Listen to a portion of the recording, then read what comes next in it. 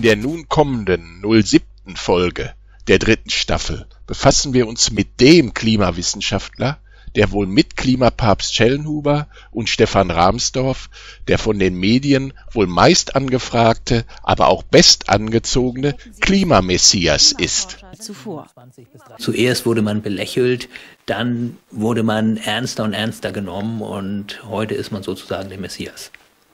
Im Internet existieren bereits unzählige, auch kritische Videos über den Klimaclown im deutschen Fernsehen, Mojib Latif. Hier ein Ausschnitt aus NDR Das aus Juli 2008. Latif, Sie sind großer Schokoladenfan, aber Sie haben leider äh, gesundheitlich müssen Sie ein bisschen darauf achten, dürfen nicht mehr so viel essen, ne? Ja, genau. Also äh, ich bin zwar nicht zuckerkrank, aber ein bisschen aufpassen muss ich schon. Und insofern ist das natürlich jetzt nur noch der reine Genuss, wenn ich äh, Schokolade esse. Aber Nun soll am 8. November 2015 Mojib Latif zusammen mit einem weiteren Nachhaltigkeitsforscher den mit 500.000 Euro dotierten Deutschen Umweltpreis der Deutschen Bundesstiftung Umwelt überreicht bekommen von keinem Geringeren als vom deutschen Bundespräsidenten Joachim Gauck. Nano Spezial aus Osnabrück. Warum sind wir hier? Nun, hier ist der Sitz der Deutschen Bundesstiftung Umwelt und die vergibt jedes Jahr den Deutschen Umweltpreis. Und das ist nun wirklich kein kleiner Preis. Ganz im Gegenteil, es ist der höchst dotierte Umweltpreis Europas mit 500.000 Euro. Der Bundespräsident verleiht ihn jedes Jahr. Es soll ein Appell an die bevorstehenden Klimakonferenzen in New York und in Paris sein. Zum ersten Mal wird der mit 500.000 Euro dotierte deutsche Umweltpreis gleichzeitig an zwei Wissenschaftler verliehen, an den Kieler Klima- und Meeresforscher Latif und an den Stockholmer Nachhaltigkeitsforscher Rockström. Mit dem Preis der Deutschen Bundesstiftung Umwelt werden seit 1993 Persönlichkeiten ausgezeichnet, die entscheidend dazu beigetragen haben, die Umwelt zu schützen und zu erhalten. Sollte dieser Scharlatan Mojib Latif wahrhaftig diesen hälftigen Preis im Wert von 250.000 Euro von Joachim Gauck am 8. November 2015 überreicht bekommen, sollten Sie ernsthaft darüber nachdenken, Ihr Kind von einer staatlichen deutschen Schule abzumelden. Denn dieser Staat macht offenkundig gemeinsame Sache mit Betrügern, was wir in den nun folgenden Minuten nachweisen werden und Mojib Latif muss sich dabei auch an seiner eigenen Behauptung messen lassen. Klar, ganz Betrug gegenüber der Öffentlichkeit und natürlich auch gegenüber den betroffenen Kollegen. Und so etwas muss man kategorisch ablehnen. Und wir müssen jetzt versuchen, dass solche Dinge, wenn sie tatsächlich vorgekommen sind, beim nächsten Mal nicht nochmal passieren. Wie Sie mittlerweile spätestens durch unsere Videos wissen werden, wurde im Februar 2007 bei Veröffentlichung des vierten IPCC-Weltklimaberichts ein globaler Temperaturmittelwert von 14,5 Grad Celsius ausgewiesen. Bitte merken Sie sich das Datum Februar 2007 in Verbindung mit dem Wert 14,5 Grad Celsius. Denn beides in Verbindung wird noch wichtig werden, insbesondere wo ja Mojib Latif im November 2007 sich selbst wie folgt beschrieben hatte ganz kurz, wie gesagt, ich bin ja einer der Autoren, ja. nicht, dieses, nicht nur dieses Berichts, sondern auch äh, des letzten Berichtes. Man muss unterscheiden, äh, äh ja, welchen Teil man hier äh, betrachtet. Ja. Wenn man mal nur den ersten Teil nimmt, das ist der wissenschaftliche Teil oder der physikalische Teil, mhm. ja, an dem habe ich auch mitgearbeitet.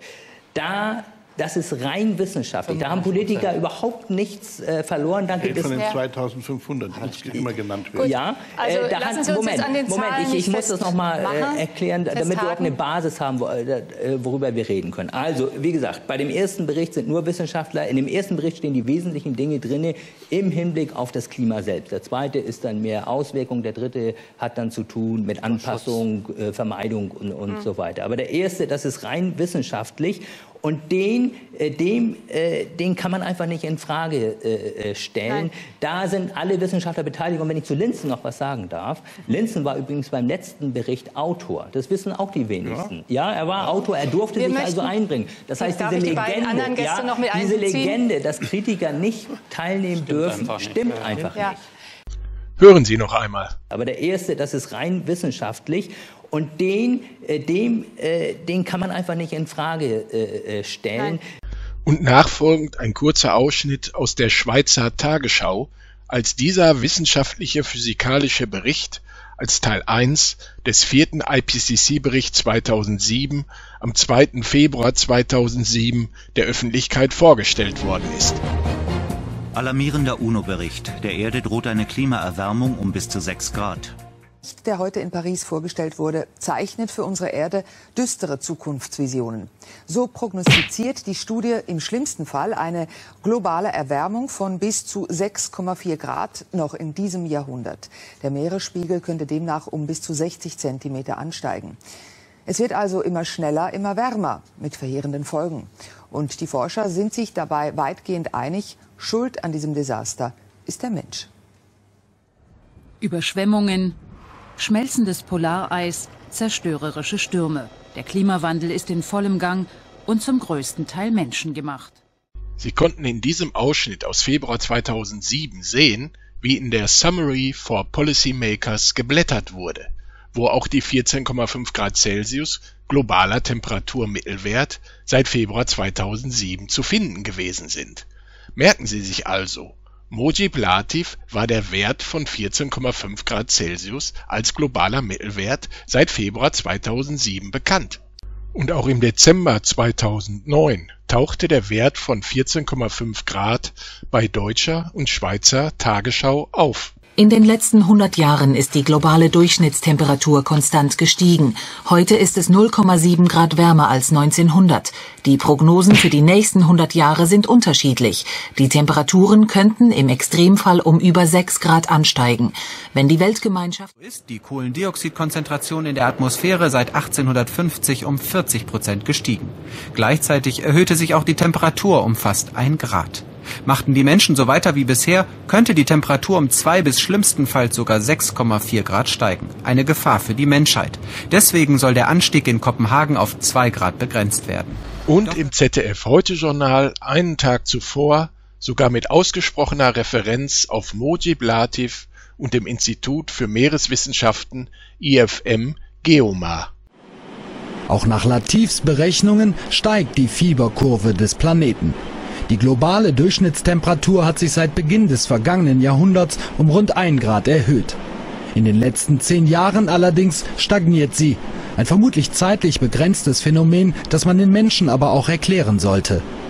Wir müssen offensiv in der Öffentlichkeit vertreten, dass es eben Schwankungen gibt, dass wir nicht erwarten können, dass wir Jahr für Jahr immer neue Temperaturrekorde erreichen. Also halten wir fest, seit Februar 2007 bis Dezember 2009 ist der Wert von 14,5 Grad als globaler Temperaturmittelwert Mojib Latif bekannt gewesen.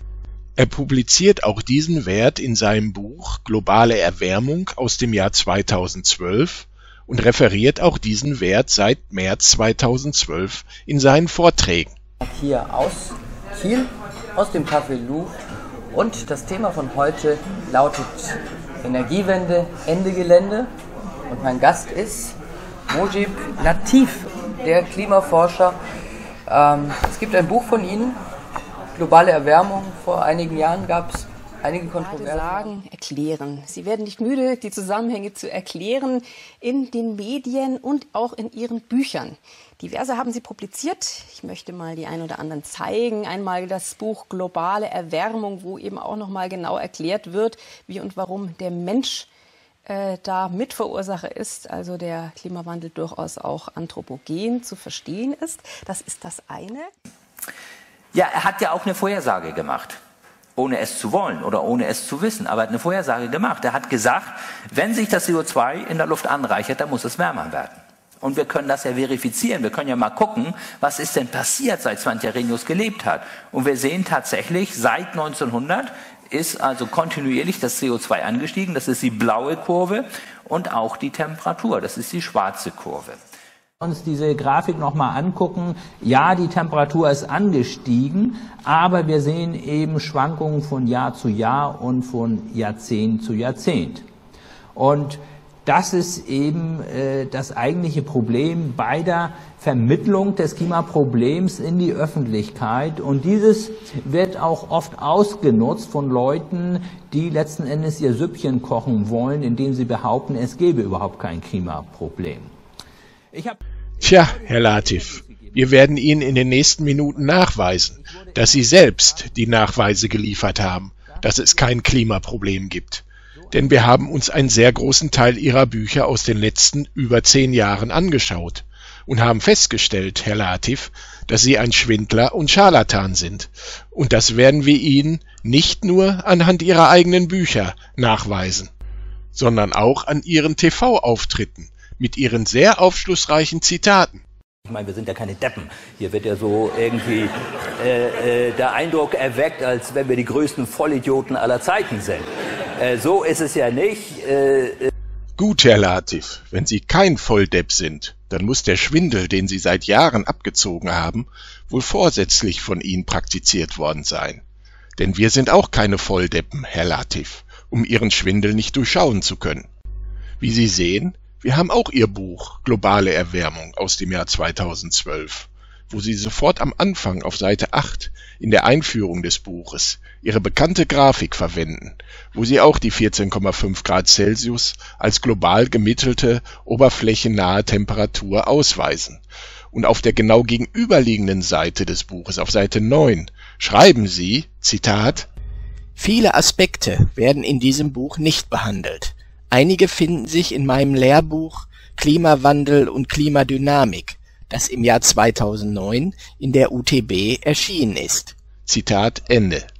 Wie Sie sehen, Herr Latif, uns liegen beide Ihrer Bücher vor. Und Ihr Buch Klimawandel und Klimadynamik haben ja die TV-Medien in ihren TV-Berichten häufig benutzt, um sie suggestiv als Klimafachmann darzustellen.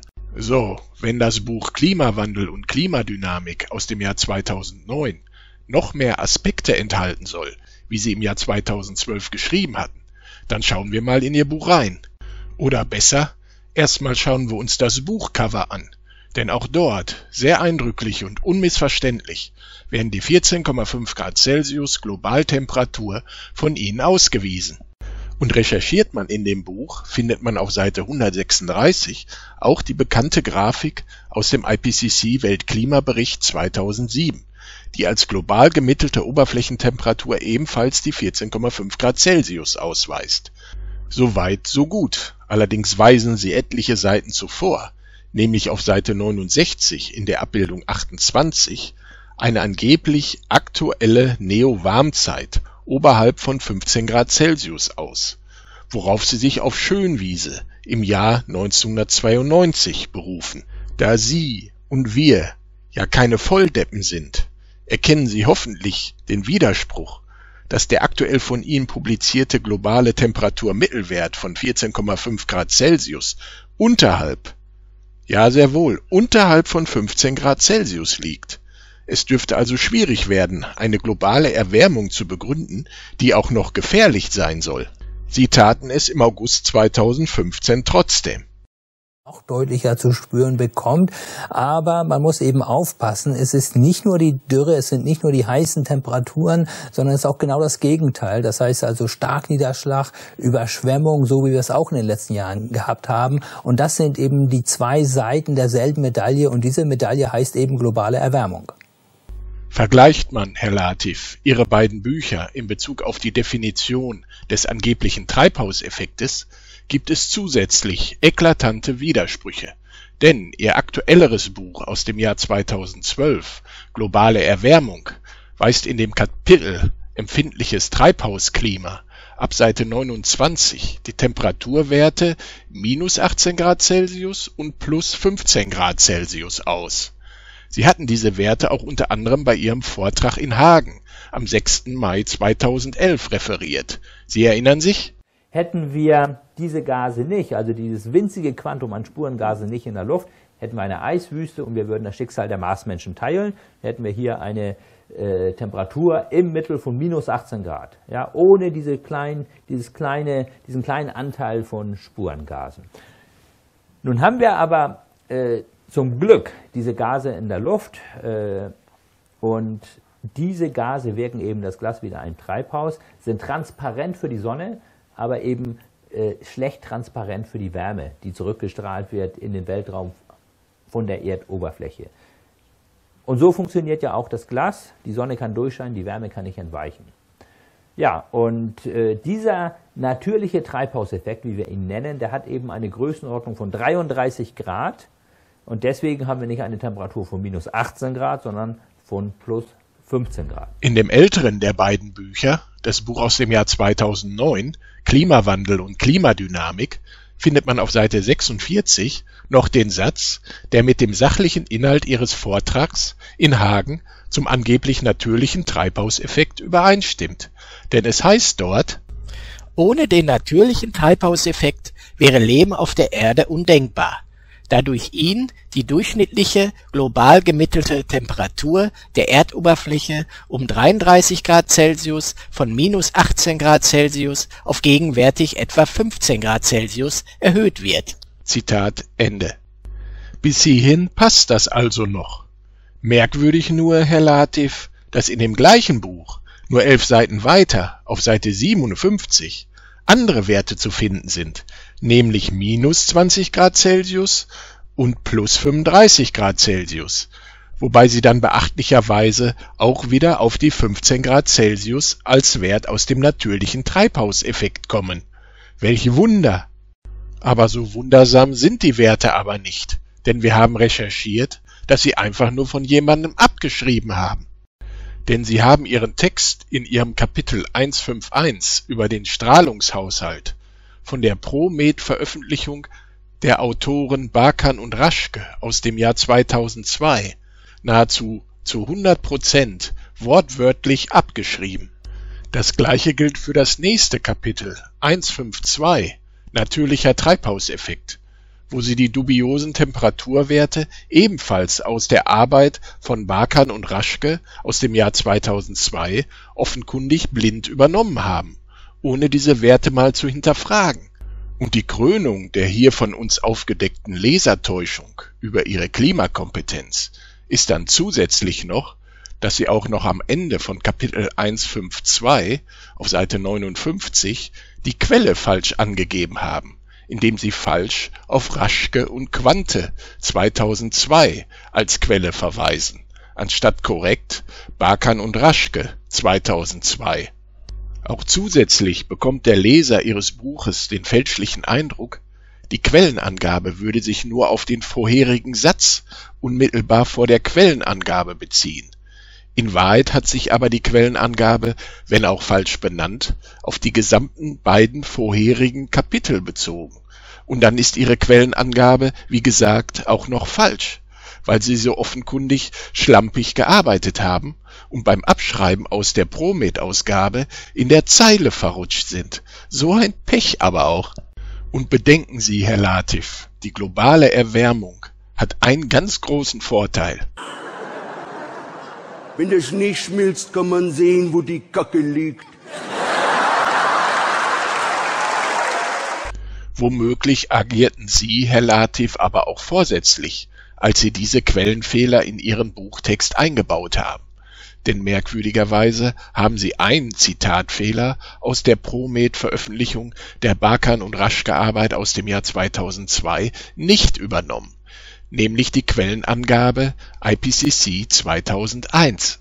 Dieser Quellenhinweis fehlt bei Ihnen, denn Sie müssen wohl gewusst und erkannt haben, dass die drei Temperaturwerte minus 20 Grad und plus 15 Grad und plus 35 Grad Celsius über den natürlichen Treibhauseffekt bzw. Greenhouse-Effekt in Wahrheit im IPCC Weltklimabericht 2001 nicht zu finden sind Wohl deshalb fehlt der Quellenhinweis IPCC 2001 in Ihrem Buch, obwohl IPCC 2001, wenn auch falsch, in der Promet-Ausgabe zu finden war und bis heute ist. Und wir fragen uns dann weiter, wenn Sie dann aber seit spätestens 2009 gewusst haben, welche Temperaturwerte aus dem Greenhouse-Effekt im IPCC-Weltklimabericht 2001 aber ausgewiesen waren, wieso publizieren Sie dann aber aktuell weiterhin die Temperaturwerte minus 18 Grad und plus 15 Grad als Werte aus dem natürlichen Treibhauseffekt. Denn im IPCC Weltklimabericht 2001 stehen seit 2001 nämlich minus 19 Grad Celsius und plus 14 Grad Celsius. Und nicht minus 18 Grad und nicht plus 15 Grad. Und schon gar nicht minus 20 Grad, wie der Wert bei Promet steht. Vielleicht sind Sie es ja, Herr Latif, der hier seit Jahren mit gezinkten Zahlen falsch spielt und eben nicht die Menschheit mit dem angeblich gezinkten Klimawürfel, was Sie so häufig in den TV-Medien predigen. Des menschlichen Handelns, weil wir bestimmte Gase in die Atmosphäre entlassen. Äh, dadurch verändert sich die Temperatur und dadurch kommt es letzten Endes auch zu mehr Wetterextremen, nicht nur in Deutschland, nicht nur in Sachsen, in Europa und eben weltweit. Ich vergleiche das gerne mit dem berühmten gezinkten Würfel. Wir sind dabei, äh, den Würfel in Richtung 6, also in Richtung Unwetter zu zinken durch die globale Erwärmung. Aber es hat natürlich vorher, vor dem Zinken auch Sechsen gegeben. Also insofern hat es auch vorher Unwetter gegeben. Es wird immer Unwetter. Vergleicht das am besten mit dem gezinkten Würfel. Da können Sie auch nicht eine 6 hernehmen und sagen, diese 6 ist auf das Zinken zurückzuführen, sondern Sie können höchstens sagen, die Häufung der Sechsen ist auf das Manipulieren des Würfels zurückzuführen. Vergleicht man das vielleicht mit dem berühmten gezinkten Würfel. Wir sind dabei, den Wetterwürfel zu zinken auf die Sechs. Die Sechs kommt häufiger, aber die anderen Zahlen kommen natürlich auch noch. Und ja, Herrgott, wir hatten nun mal die Eins, aber das bedeutet natürlich nicht, dass der Wetterwürfel nicht gezinkt ist. In die Mittelgebirge beispielsweise den Harz, dann muss man einfach langfristig damit rechnen, äh, dass es immer mildere Winter geben wird, trotz der kalten Winter in den letzten Jahren. Aber das ist sozusagen die Eins beim gezinkten Würfel. Äh, äh, das kommt vor, aber langfristig geht die Richtung in Richtung mildere Winter, weniger Schnee und deswegen muss sich auch der Tourismus darauf einstellen. Ich vergleiche das immer gerne mit dem berühmten gezinkten Würfel. Wir sind dabei, den Würfel auf die 6 zu zinken, auf die hohen Temperaturen. Aber das heißt natürlich nicht, dass die anderen Zahlen nicht auch noch kommen können. Klar, dass es nicht immer in eine Richtung gehen kann. Ich will Ihnen das äh, erklären am Beispiel des gezinkten Würfels. Wissen Sie, wenn wir den Würfel auf die 6 zinken, dann kommt die 6 häufiger. Aber die anderen Zahlen kommen natürlich auch noch die 1 oder 2. Ja, wir haben es ja mit, mit einem chaotischen System zu tun. Da geht es rauf und da geht es runter. Aber Langfristig geht es eben rauf. Wenn wir also die Auswirkungen des Klimawandels? Naja, wenn man das einzelne Ereignis betrachtet, kann man das natürlich nicht sagen. Ich vergleiche das immer gerne mit dem berühmten gezinkten Würfel. Wenn wir den auf die sechs zinken, dann kommt die sechs häufiger. Geht es Ihnen auch so? Man kann es nicht mehr hören.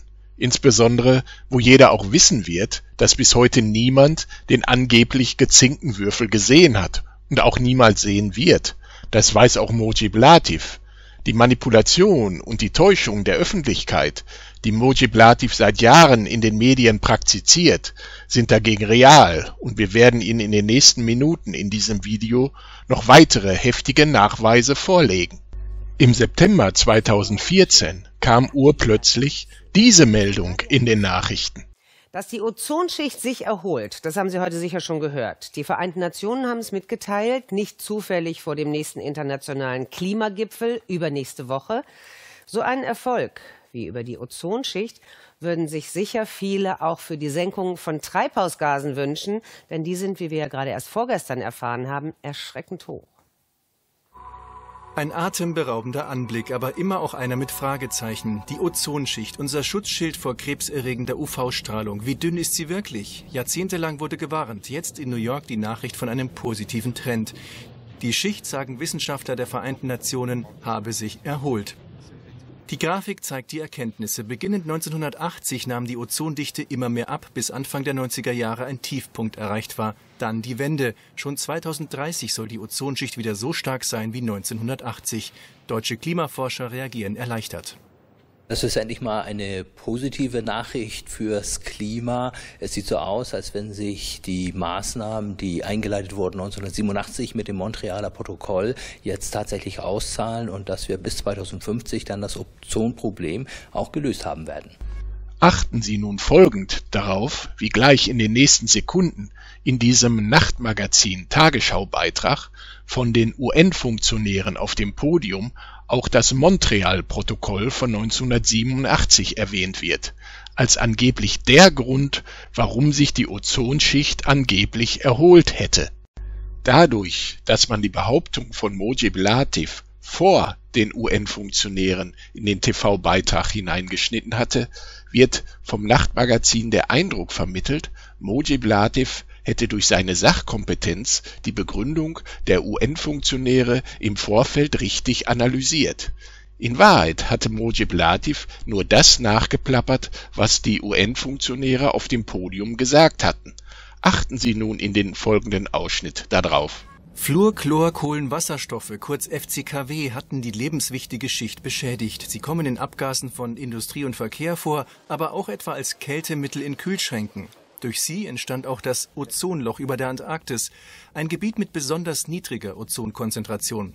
Die Animation der NASA zeigt die Veränderung seiner Größe bis ins vergangene Jahr.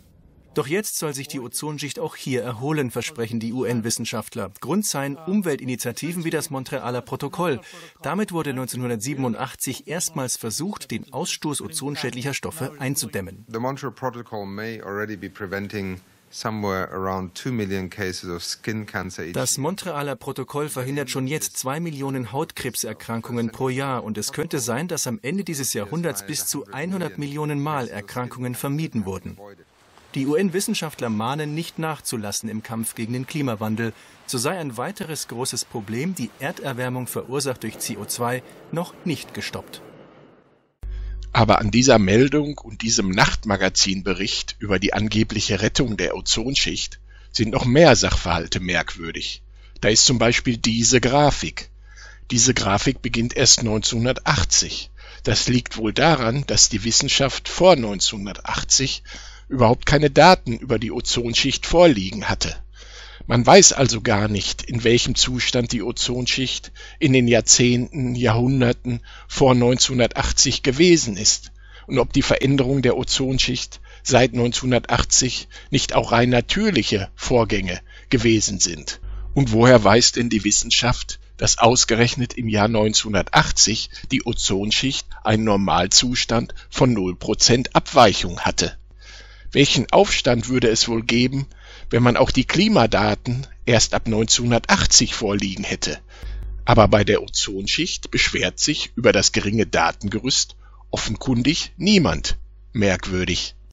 Und bereits 1988 gab es die folgende Nachricht in der 20 Uhr Tagesschau wo bereits 1988 die Wirksamkeit und die Beschlüsse des Montreal-Protokolls von 1987 vom Deutschen Bundestag also wörtlich als nicht ausreichend dargestellt worden sind. Das Ozonloch über der Antarktis ist zeitweise so groß wie die USA. Das geht aus einem Zwischenbericht der Bundestagskommission zur Untersuchung der weltweiten Klimaveränderungen hervor. Die Parlamentarier forderten heute in Bonn einschneidendere Maßnahmen zur Vermeidung von Fluorchlorkohlenwasserstoffen. Das Montrealer Protokoll sei nicht ausreichend. Das Montrealer Protokoll sei nicht ausreichend. Die Bundesrepublik müsse bei dem Verbot dieser Stoffe eine Vorreiterrolle übernehmen und den Einsatz bis 1995 um 95 Prozent verringern. Ah ja, also bis 1995 sollte der Einsatz von Fluorkohlenwasserstoffen um 95 Prozent verringert werden. Deshalb merkwürdig und unpräzise auch dieser Satz im Nachtmagazin im September 2014 mit dem angeblichen Tiefpunkt der Ozonschicht Anfang der 1990er Jahre, wohlgemerkt Anfang der 1990er Jahre. Die Grafik zeigt die Erkenntnisse. Beginnend 1980 nahm die Ozondichte immer mehr ab, bis Anfang der 90er Jahre ein Tiefpunkt erreicht war. Bis Anfang der 90er Jahre ein Tiefpunkt erreicht war. Anfang der 1990er Jahre würde aber bedeuten bis 1992 oder 1993 und eben nicht 1995. Denn 1995 würde Mitte der 1990er Jahre bedeuten. Denn aus März 1995 existieren auch die folgenden zwei Meldungen über die Arktis. Wohlgemerkt die Arktis am Nordpol, also nicht die Antarktis am Südpol. Hören Sie mal. Deutsche Wissenschaftler sollen nachgewiesen haben, dass auch über der Arktis ein Ozonloch entsteht. Dies, so das ZDF, hätten Messungen während der letzten Tage ergeben. Von Seiten anderer Wissenschaftler hieß es, der Ozonverlust über der Nordhalbkugel sei in diesem Winter der stärkste seit Beginn der Messungen 1988 gewesen. Bestätigt wurde heute, dass der Ozonabbau über der Nordhalbkugel der Erde ähnlich weit fortgeschritten ist wie über der Antarktis. Das wurde durch eine internationale Messaktion belegt, deren Ergebnis die Deutsche Forschungsanstalt für Luft- und Raumfahrt in München veröffentlichte. In Höhen zwischen 15 und 20 Kilometern habe die Ozonkonzentration um bis zu 60 Prozent abgenommen und es sei mit einem weiteren Abbau der Ozonschicht zu rechnen, die vor den ultravioletten Strahlen der Sonne schützt. Im aktuellen Nachtmagazin-Beitrag aus September 2014 wurde aber nur die Antarktis als erholt erwähnt, nicht aber die Arktis und auch nicht die Nordhalbkugel. Was ist denn aus dem Ozonloch über der Nordhalbkugel und der Arktis geworden?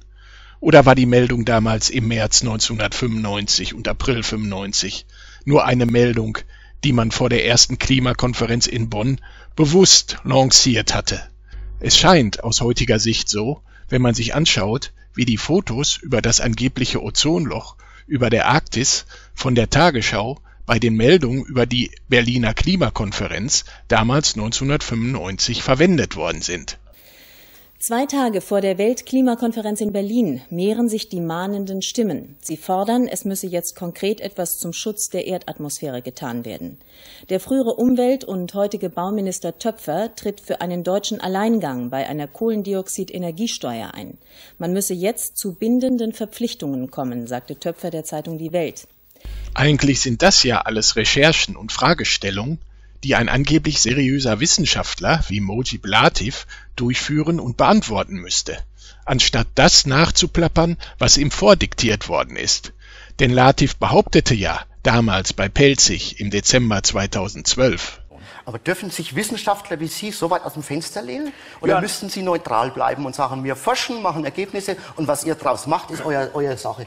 Ja, ich kann mich nicht äh, dagegen wehren. Wenn ich Dinge herausfinde, äh, dann, das wird ja auch erwartet von einem Wissenschaftler, dann soll man sie ja auch in die Öffentlichkeit tragen. Und äh, das wird ja auch honoriert. Es ist gewünscht von den Forschungsorganisationen, aber auch von der Politik, beispielsweise vom Forschungsministerium. Insofern trage ich halt meine Ergebnisse ja. in die Öffentlichkeit. Und wenn das nicht gefällt, äh, dann kann ich nichts dafür. Äh, ich persönlich, äh, da bin ich auch ganz ehrlich, halte das für äh, meine Pflicht als Wissenschaftler, darauf hinzuweisen. Amüsant. Mojib Latif wird von Pelzig als Experte für globale Erwärmung ausgewiesen. Darauf werden wir gleich noch zu sprechen kommen. Vorher noch ein anders Schmankerl. Wir hatten ja schon in der Staffel 2 unserer Videos thematisiert, dass Latif ja bereits im Jahr 2004 in seiner Kühnheit behauptet hatte, er könne Jahreszeiten prinzipiell vorhersagen. Hören Sie noch mal. Der Kieler Erdsystemforscher Mojib Latif möchte den alten Wunschtraum der Menschheit verwirklichen, den nächsten Winter oder den nächsten Sommer vorherzusagen. Er ist mit Hilfe des Deutschen Klimarechenzentrums schon ganz nah dran. Wir haben gezeigt, dass Jahreszeitenvorhersagen prinzipiell möglich sind, obwohl das Wetter ja chaotisch ist, man es nur maximal 14 Tage im Voraus vorhersagen kann. Wir haben mit den Tropen angefangen. Dort machen wir schon routinemäßig die Jahreszeitenvorhersagen und wir versuchen das jetzt auf die mittleren Breiten zu übertragen. Was Mojib Latif dann unter Jahreszeitenvorhersagen und Klimavorhersagen versteht, hat er zum Beispiel sieben Jahre später bei seinem Vortrag an der Fernuni Hagen offenbart. Irre! Jeder von uns kann ja eine Klimavorhersage machen, nämlich die Klimavorhersage, dass der kommende Sommer wärmer sein wird als der letzte Winter. Ja, stimmt, wissen wir alle. Kann ich machen, obwohl ich das Wetter nur kurzfristig vorhersagen kann. Nun, das hat natürlich auch einen Grund. Sie alle wissen, warum das so ist, weil sich der Sonnenstand ändert. Ah ja, weil sich der Sonnenstand ändert. Was Latif denn wohl unter Sonnenstand versteht? Zwei Monate zuvor, im März 2011, hatte Latif im NDR Fernsehen Folgendes behauptet. Aber Achtung, festhalten, jetzt wird's noch haarsträubender in Hamburg oder in Norddeutschland, das ist eben einfach gegeben dadurch, durch den Sonnenstand. Deswegen haben wir auch die Jahreszeiten. Ich meine, wir wissen todsicher, dass der Sommer wärmer ist als der Winter. Warum ist es so? Ne? Weil wir näher an der Sonne dran sind. So ist es, ne? weil der Weg äh, der Sonnenstrahlen durch die Atmosphäre einfach kürzer ist als im Winter.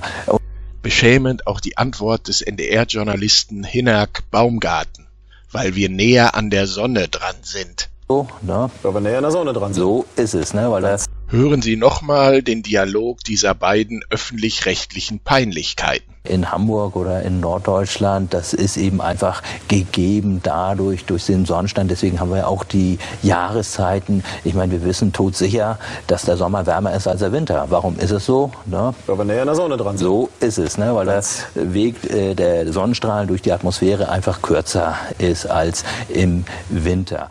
Der Sommer als Jahreszeit hat nix mit der Kürze der Sonnenstrahlen zu tun, sondern im Sommer ist durch den Neigungswinkel der Erdachse die Sonneneinstrahlung optimaler und die Dauer der täglichen Sonneneinstrahlung ist im Sommer länger.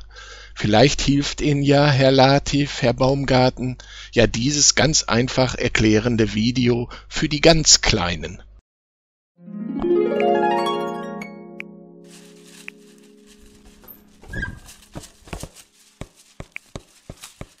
Ich bewege mich in einem Jahr einmal um die Sonne. Meine Achse bleibt dabei immer in die gleiche Richtung geneigt. Sonne, hilf mir bitte, Mond den Sommer zu erklären. Ich schaue mir die Situation gleich einmal an. Im Sommer bescheine ich mehr der Nordhalbkugel. Die Regionen nördlich des Äquators sind mir zugewandt. Meine Strahlen treffen sich steiler als während der anderen Jahreszeiten. Am Nordpol wird es nie Nacht.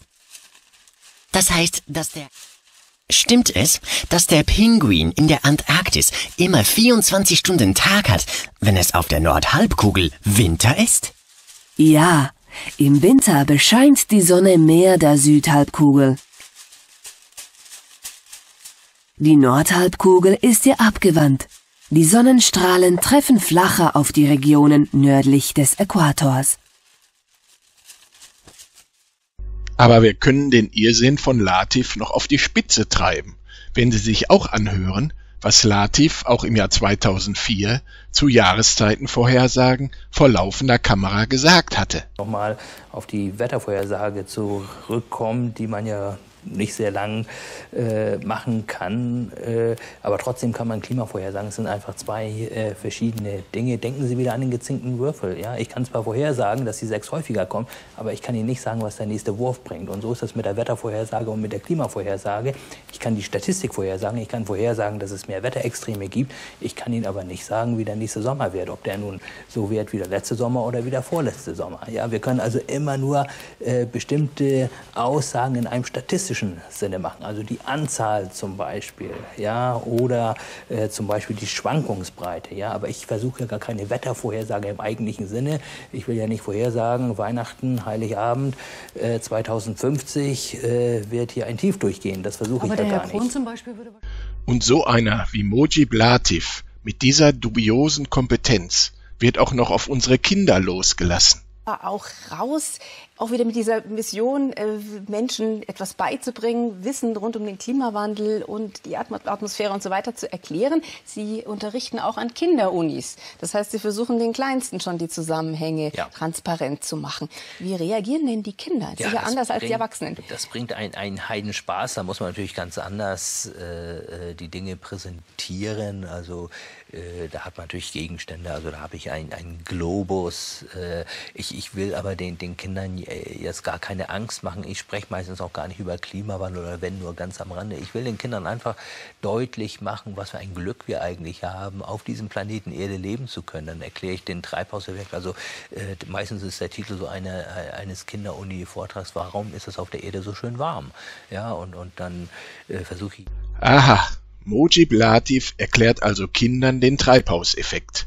Wo wir in diesem Video mittlerweile nachgewiesen hatten, dass Latif in seinen Büchern den Treibhauseffekt nahezu komplett aus anderen Publikationen abschreibt. Erschreckend. Ich fühle mich eigentlich äh, schon ziemlich verkaspert. Äh, ich höre hier gerade verarscht. Äh, äh, ich fühle mich schon ziemlich verkaspert. Nicht nur Sie, Herr Latif, insbesondere auch wegen der nun folgenden heftigen Recherchen. Da sind zum Beispiel diese beiden Bücher. Auf den ersten Blick scheinen das zwei unterschiedliche Bücher von ihnen zu sein, aber in Wahrheit sind die beiden Bücher textlich nahezu zu 100 Prozent identische Bücher. Das eine Buch stammt aus Dezember 2003 und das andere wurde im Mai 2007, also circa dreieinhalb Jahre später aufgelegt. In beiden Büchern erwähnen sie zu 100 Prozent wortgleich das bekannte Spiegelcover aus August 1986 mit dem versinkenden Kölner Dom. Und sie sagen dazu wörtlich, Darunter war das Wort Klimakatastrophe zu lesen. Dieses Wort ist inzwischen in der öffentlichen Diskussion zum Synonym für das Klimaproblem geworden. Klimawissenschaftler wie ich nehmen diesen Begriff aber nicht in den Mund. Wir sprechen neutral von einem Klimawandel. Ich möchte keine Ängste schüren, sondern so objektiv wie möglich über die Klimaproblematik informieren. Zitat Ende. Ah ja, Sie möchten keine Ängste schüren. Wie gesagt, dieser Text findet sich zu 100 Prozent wortgleich in beiden ihrer genannten Bücher, auch in ihrem Buch aus dem Jahr 2003, was dieses klimaalarmistische Cover hatte, ein in den Fluten versinkender Berliner Reichstag mit den Worten Hitzerekorde und Jahrhundertflut. Sie waren also damals im Dezember 2003 mit ihrem Klimaalarmismus genauso unterwegs wie damals der Spiegel im August 1986 behaupten aber auf der Seite 11 in ihrem Buch aus 2003, sie möchten keine Ängste schüren. Ah ja. Als dann nachweislich seit Februar 2007 der Klimaalarmismus in den Medien nach Veröffentlichung des vierten Weltklimaberichts 2007 zunehmend kritisiert worden ist, haben Sie, Herr Latif, bei der aktualisierten Taschenbuchauflage Ihres Buches im Mai 2007 das Cover und den Titeltext des Buches geändert und entschärft, indem sie den versinkenden Reichstag und die Worte Hitzerekorde und Jahrhundertflut entfernt haben. Ansonsten haben sie aber den Buchtext nahezu zu 100 Prozent gleich gelassen.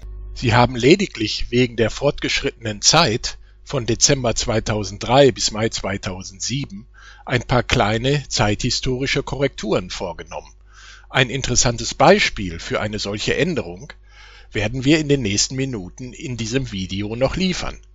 Aber eigentlich hätten Sie etwas ganz Wichtiges und Grundlegendes in Ihrem Buch im Mai 2007 ändern müssen.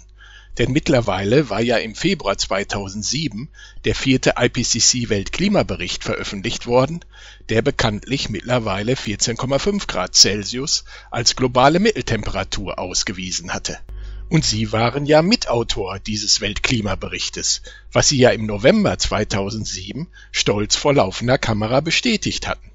Wir wiederholen Ihr stolzes Zitat noch einmal. Wenn man mal nur den ersten Teil nimmt, das ist der wissenschaftliche Teil oder der physikalische Teil, mhm. ja, an dem habe ich auch mitgearbeitet. Und welche globale Mitteltemperatur hatten Sie, Herr Latif, seit Dezember 2003 und auch noch im Mai 2007 in Ihrem angeblich aktualisierten Buch ausgewiesen? Wir lesen mal gemeinsam die Seite 10 Ihres Buches. Die Erde hat Fieber. Immer neue Hitzrekorde zeigen, dass die Erde Fieber hat. Das heißt, ihre normale Temperatur von ungefähr 15 Grad vor Beginn der Industrialisierung ist auf heute etwa 15,6 Grad angestiegen. Zitat Ende.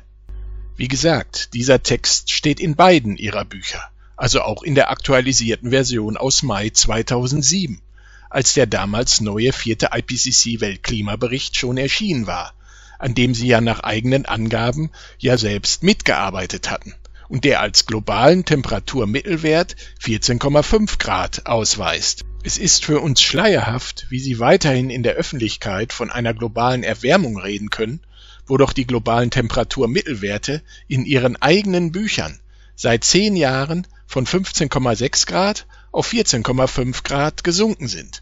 Besonders nachdenklich fragen wir uns, wie sie Kindern ihre merkwürdige Logik einer globalen Erwärmung erklären wollen, wenn Kinder in ihren Büchern das entdecken und lesen. Sie unterrichten auch an Kinderunis. Das heißt, sie versuchen den Kleinsten schon die Zusammenhänge ja. transparent zu machen. Wie reagieren denn die Kinder? Das ja, ist ja anders bringt, als die Erwachsenen. Das bringt einen, einen Heidenspaß. Da muss man Aber das ist noch nicht alles. Denn auch auf der Seite 16 in beiden Buchversionen ist eine aufschlussreiche Grafik zu finden, wo eine angeblich durch den Menschen potenziell verursachte Treibhauserwärmung von oberhalb von 15,6 Grad eingezeichnet zu erkennen ist.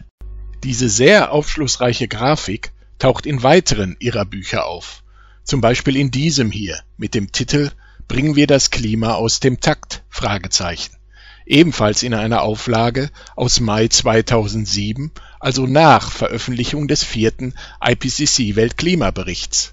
Und auf Seite 157 findet man dann auch diese Grafik, wobei bei dieser Grafikversion sogar an beiden y-Achsen die absoluten Temperaturwerte ausgewiesen sind und die gestrichelte Normalwertlinie sogar noch näher an 16 Grad Celsius eingezeichnet wurde.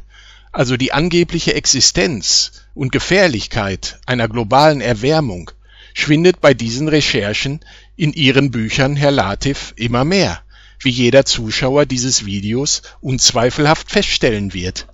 Und hier noch ein Latif-Buch mit dieser informativen Grafik, dieses Mal aus dem Jahr 2004. Und Sie sehen, es ist kaum noch nachvollziehbar, wie Mojib Latif bei einem Wert von 14,5 Grad Celsius, den Latif aktuell publiziert, noch von einer gefährlichen globalen Erwärmung reden kann, wenn man die Werte kennt, die Latif in den letzten zehn Jahren publiziert hatte. Und man muss deutlich kennzeichnen, dass das eine Grafik ist, die von einem selbst angefertigt worden ist, nach einer bestimmten Vorlage eines anderen Kollegen. Gute wissenschaftliche Praxis. Beim Weltklimarat scheinen manche damit wirklich ein Problem zu haben. Ist es Ihnen aufgefallen, bei zwei der drei Versionen der Grafik fehlte der Hinweis auf das MPI-Met.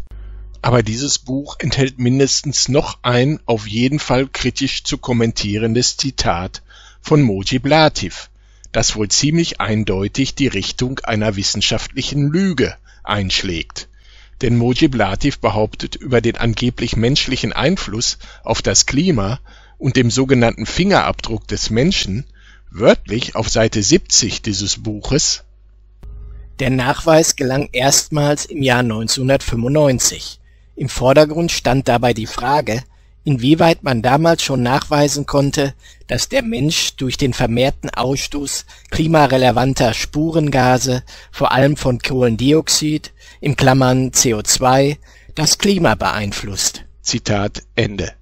Wir haben bereits in unserer Folge 05 dieser Videostaffel den investigativen Nachweis erbracht, dass der Nachweis über den angeblichen menschlichen Klimaeinfluss bis heute nicht existiert und dass im Jahr 1995 der angebliche Nachweis, den Mojib Latif in seinem Buch auf Seite 70 behauptet, in Wahrheit nur ein Glaube an eine Fieberzacke in einem Signal gewesen ist, was unter anderem im Deutschen Spiegel im März 1995 publiziert wurde. Wir kommen nochmal zurück auf diese beiden Bücher, die ja eigentlich fast wortwörtlich identisch sind, aber eben nur fast. Denn über das Ozonloch haben Sie, Herr Latif, in beiden Büchern aus heutiger Sicht ebenfalls interessante Behauptungen aufgestellt, an denen zusätzlich auch für die Zuschauer dieses Videos deutlich wird, wie die kleinen Änderungen konkret aussehen, in denen sich beide Buchversionen unterscheiden. In der Version aus Dezember 2003 finden sich am Ende ihres Kapitels über das Ozonloch auf Seite 131 folgende zwei Sätze: Im Jahr 2003 scheint sich das Ozonloch wieder zu vergrößern, nachdem es im Jahr zuvor etwas geschrumpft war. Man kann also auf keinen Fall schon Entwarnung geben. Zitat Ende. Und in der Version aus Mai 2007 stehen an gleicher Stelle folgende zwei Sätze. Im Jahr 2006 hat das Ozonloch einen neuen Rekordwert erreicht. Man kann also auf keinen Fall schon Entwarnung geben. Zitat Ende. Jeder Zuschauer kann erkennen, auch wenn Mojib Latif das Buchcover im Jahr 2007 entschärft hat, hat Latif parallel durch solche Sätze den Klimaalarmismus im Jahr 2007 in seiner aktualisierten Buchversion noch erhöht, um dann im Jahr 2014 zu behaupten, die Erholung des Ozonloches hätte das Montreal-Protokoll aus 1987 bewirkt Hallo? Wie irre ist das denn wohl? Es ist endlich mal eine positive Nachricht fürs Klima. Es sieht so aus, als wenn sich die Maßnahmen, die eingeleitet wurden 1987 mit dem Montrealer Protokoll, jetzt tatsächlich auszahlen und dass wir bis 2050 dann das Ozonproblem auch gelöst haben werden. Eigentlich haben wir schon in diesem Video genug Nachweise aus den Büchern von Mojib Latif vorgelegt, dass Latif in früheren Jahren eine globale Erwärmung oberhalb von 15 Grad Celsius ausgewiesen hatte. Aber wir haben zusätzlich auch TV- und Vortragszitate von Mojib Latif. Hören und schauen Sie mal. Worum es geht, ist, dass es auch so bleiben soll. Wir möchten gerne in der Nähe des heutigen Klimas bleiben und nicht irgendwann bei einer Erdmitteltemperatur von 20 Grad sein, was ungefähr 4 Grad, 4 bis 5 Grad mehr wäre als heute und das im Jahr 2100. Eben Klimawandel ist ja normal.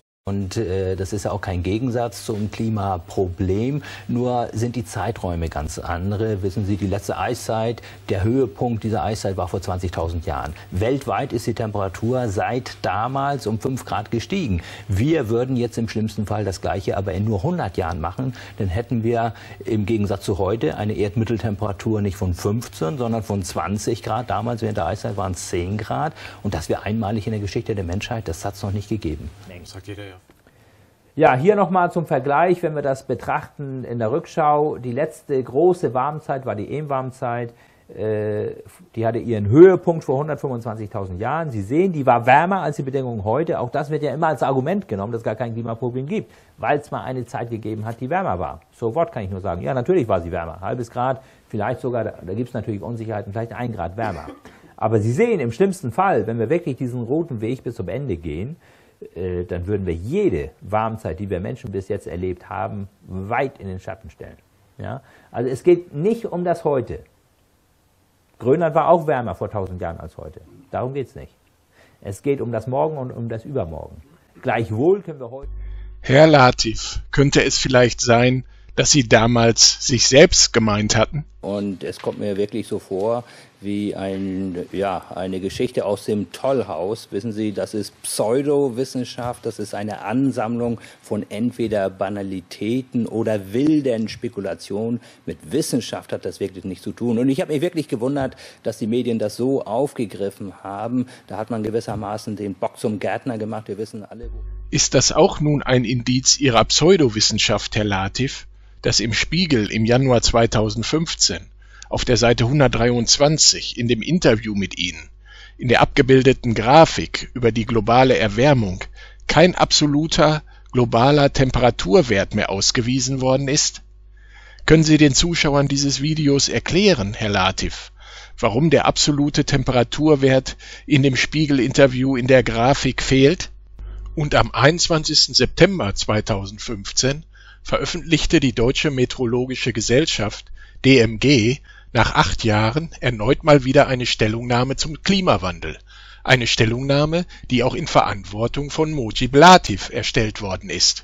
Blättert man die dreiseitige Stellungnahme der DMG durch, fällt auf, dass auch wieder mal behauptet wird, der Erwärmungstrend sei angeblich ungebrochen, ohne allerdings absolute Globaltemperaturen auszuweisen Informationen über den Treibhauseffekt werden gar nicht erwähnt. Bemerkenswert auch dieser Satz. Der menschliche Einfluss auf den Klimawandel ist immer deutlicher nachweisbar. Was ist denn das für ein Ausdruck? Deutlicher nachweisbar. Mojib Latif hatte doch 2004 geschrieben, der Nachweis gelang erstmals im Jahr 1995. Was heißt denn jetzt deutlicher nachweisbar? Das wäre ja so, als wenn ein Mann behaupten würde, seine Frau sei nun heute noch deutlicher schwanger als gestern. Und jeder wird wissen, dass ein dicker und noch dickerer Frauenbauch noch kein Beweis für eine Schwangerschaft darstellt. Entweder ist eine Frau schwanger oder eben nicht. Entweder existiert ein Nachweis oder Beweis oder eben nicht. Es gibt nicht einen ein bisschen Beweis oder einen ein bisschen Nachweis. Genauso wenig wie es ein bisschen schwanger gibt. Genauso wenig kann ein menschlicher Einfluss deutlicher nachweisbar sein. Entweder ist ein menschlicher Einfluss nachweisbar oder nicht. Wir empfinden diese Stellungnahme der Deutschen Meteorologischen Gesellschaft vom 21. September 2015 deshalb als Täuschung und Irreführung der Öffentlichkeit. Aber diese dubiose Strategie der Irreführung und Verschleierung fährt ja die Deutsche Meteorologische Gesellschaft, zu der auch Christian Schönwiese und auch Mojib Latif gehört, seit über 25 Jahren. Dabei gibt es einen ganz einfachen Grundsatz der Naturwissenschaften, den der 1988 verstorbene Nobelpreisträger Richard Feynman bereits vor Jahrzehnten formulierte. Es spielt keine Rolle, wie großartig deine Theorie ist, es spielt auch keine Rolle, wie klug du bist. Wenn es sich nicht durch Experimente belegen lässt, dann ist es einfach falsch. Wissen Sie denn wenigstens, Herr Latif, wie hoch der höchste jemals gemessene Temperaturwert in Deutschland gewesen ist? Das wissen Sie bestimmt, nicht wahr, Herr Latif? Sogar oftmals der zweitwärmste. Der Sommer hat viel zu bieten, vor allem die großen Hitzewellen. Es gab insgesamt drei Tage, an denen die 40 Grad Marke geknackt wurde. Das gab es so bislang noch nie. Es wurde auch ein neuer Höchsttemperaturrekord gemessen und zwar im unterfränkischen Kitzingen mit genau 40,3 Grad Celsius. Das, was alle gespürt haben, das waren die Hitzewellen. Sie sehen, Herr Latif, die Höchsttemperaturen in Deutschland haben noch nie den Temperaturwert von 41 Grad erreicht, geschweige denn überschritten.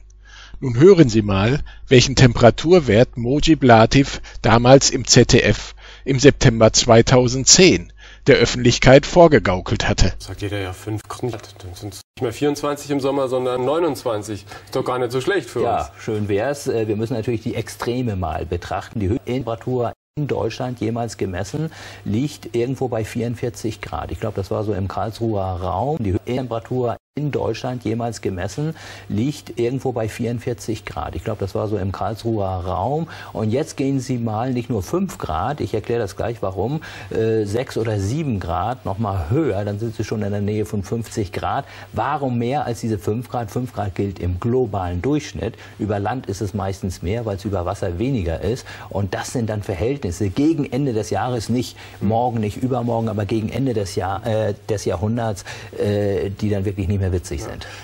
Stimmt, Herr Latif, so eine Lüge ist wirklich nicht mehr witzig. Und es ist auszuschließen, dass sich Mojib Latif bei den 44 Grad lediglich aus Versehen versprochen hatte. Denn es war im Nachhinein erkennbar, dass Mojib Latif die 44 Grad unbedingt erwähnen wollte, um von 44 Grad plus 5 bis 6 Grad auf die vermeintliche Temperaturschallmauer von 50 Grad zu kommen die er dann vor laufender Kamera als klimaalarmistische Angstpropaganda erwähnen konnte. Kann man das jetzt irgendwie aufhalten? Ja, im Prinzip können wir es äh, äh, noch aufhalten. Jedenfalls, äh, wir können verhindern, dass es zum Schlimmsten kommt. Wir haben ja über diese 5 Grad weltweit gesprochen, 50 Grad bei uns in Deutschland, das können wir verhindern. Also wir können aber eine weitere Erwärmung nicht mehr ganz verhindern. Also ich denke mal 2 Grad im weltweiten Durchschnitt nochmal äh, werden wir bis zum Ende des Jahrhunderts nicht mehr verhindern können. Das ist auch nicht wenig, aber wir hoffen, dass wir dann noch mit einem blauen Auge davon kommen. Danke Ihnen ganz herzlich für diese Information. Finde ich ein unglaublich spannendes Thema. Alle Infos auch nochmal im Netz. Genau, alle Infos über diesen Schwindel auch bei uns im Netz. Zum Abschluss dieses Videos noch ein wichtiges Wort zu der Deutschen Bundesstiftung Umwelt, DBU, die den höchst dotierten Umweltpreis Europas am 8. November 2015 an Mojib Latif übergeben will. Diese DBU hatte im Mai 2009 zusammen mit der DENA, der Deutschen Energieagentur, diese Broschüre herausgebracht diese Broschüre war eine Begleitbroschüre für eine Ausstellung, eine Art Ausstellungs und Infomesse der Ökoindustrie, die damals im Frühjahr 2009 in Osnabrück stattfand. Und auf der Seite 9 dieser Broschüre findet sich unter der Kapitelüberschrift Der vom Menschen verursachte Treibhauseffekt eine Grafik, in der eine globale Erwärmung mit dem angeblich vom Menschen verursachten Treibhauseffekt bei 17 Grad Celsius ausgewiesen wird. Also im Prinzip genau das, was alle politischen Umweltinstitutionen seit 30 Jahren predigen, nämlich der angeblich natürliche Treibhauseffekt von 15 Grad Celsius darf nur höchstens um 2 Grad auf 17 Grad Celsius verstärkt werden. Und ist das jetzt nicht amüsant, bedenklich und erschreckend zugleich. Nun soll am 8. November 2015 ein Mojib Latif einen deutschen Umweltpreis im Wert von 250.000 Euro aus der Hand des deutschen Bundespräsidenten Joachim Gauck erhalten. Ein Mojib Latif, der seit Jahren in der Medienlandschaft von einer angeblichen Gefährlichkeit einer angeblichen globalen Erwärmung faselt, die, wenn man die Publikation von Mojib Latif mit sich selbst und mit den Behauptungen der DBU vergleicht, überhaupt nicht existiert. Nein, das ist keine Fälschung. Und Sie konnten sich ja eine Stunde lang in diesem Video selbst ein Bild darüber machen, welche neuen Kleider uns Mojib Latif seit über 25 Jahren versucht anzuziehen. Und Mojib Latif wird sich auch an seinem eigenen Zitat von zu Beginn unseres Videos messen lassen müssen. Das ist ganz klarer Trug gegenüber der Öffentlichkeit und natürlich auch gegenüber den betroffenen Kollegen. Und so etwas muss man kategorisch ablehnen. Und wir müssen jetzt versuchen, dass solche Dinge, wenn sie tatsächlich vorgekommen sind, beim nächsten Mal nicht nochmal passieren. Interessieren Sie sich für die Jagd? Ja, aber nicht auf Tiere.